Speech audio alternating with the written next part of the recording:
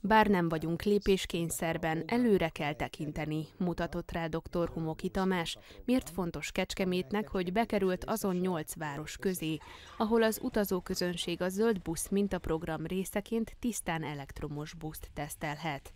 Az alpolgármester elmondta, körülbelül fél éven belül egy hónapon át épül majd be a helyi közösségi közlekedésbe a zöld jármű, így lesz lehetőség felmérni annak előnyeit, hátrányait. A mi buszaink jelen pillanatban egyébként a 45 busz, az új busz, amit a ITK a kecskeméti közlekedésben üzemeltet, ez Euró 6-os dízelbuszok, Tulajdonképpen azt mondhatom, hogy az elektromos buszokat követően a második helyen levő legmodernebb és legkörnyezetkímélőbb szegmensnek felelnek meg.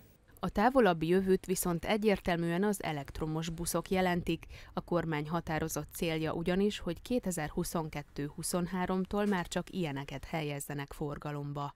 Dr. Homoki Tamás arról is beszélt a KTV stúdiójában, hogy ha eljön az ideje annak, hogy Kecskemét busz közlekedése teljes mértékben elektromossá váljon, sok megelőző munkára lesz szükség a buszok nagy töltésigénye miatt egy olyan kapacitás kiépítése szükséges, ami vagy olyan módon képzelhető el, hogy a busztelephelyen egy óriási töltő kapacitás áll rendelkezésre, és éjszaka ezek a buszok töltésre kerülnek, majd nappal kibírják az egész napi közlekedési szükségletüket egy töltéssel, vagy még több buszt kell vásárolni, hogyha napközbeni töltésre is szükség van, illetve esetleg más helyeken, decentrumokba is ki kell alakítani töltőpontokat.